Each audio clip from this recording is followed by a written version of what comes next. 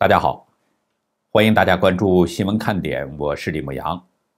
今天是美东时间十二月十五号星期四，亚太时间是十二月十六号星期五。北京感染中共病毒的人太多了，多到什么程度呢？官方文件显示，中共向外地已经开始征召医护人员进京援助了。而北京内部传出消息显示，北京的医疗系统可能已经瘫了。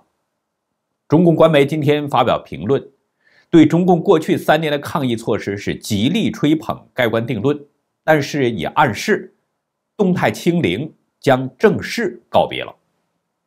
节目开始之前呢，我们先来聊一下本期节目的赞助商 Augusta Precious Metals。在美国有退休账户的人啊，总是担心自己没有足够的退休金，特别是现在通货膨胀严重，物价很高啊。人们的腰包也在不断的缩水，甚至呢，我们注意到有的退休人员退休之后不得不重新出去找工作赚钱。那么有没有让我们的资产保值的方法呢？答案是肯定的。您可以用黄金 IRA，这是一种特殊的个人退休账户，经过美国政府的批准，您就可以在这个账户里边持有实物的黄金和白银。有句老话。叫乱世黄金，您应该听说过。意思呢，就是在不好的年月啊，人们都是用储备黄金来让自己的资产保值。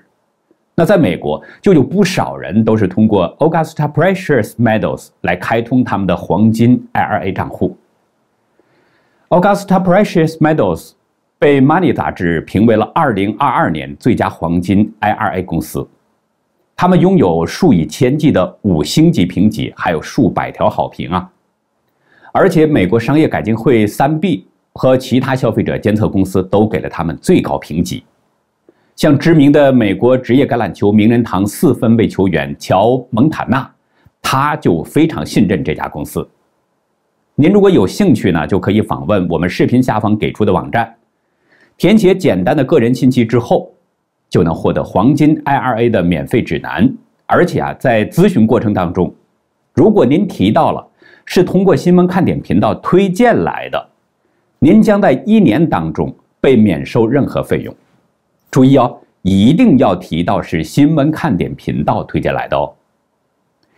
另外呢，目前 Augusta Precious Metals 他们只服务于美国境内的客户，不支持国际运送。而且只是提供英语咨询。那好，接下来就开始我们今天的节目。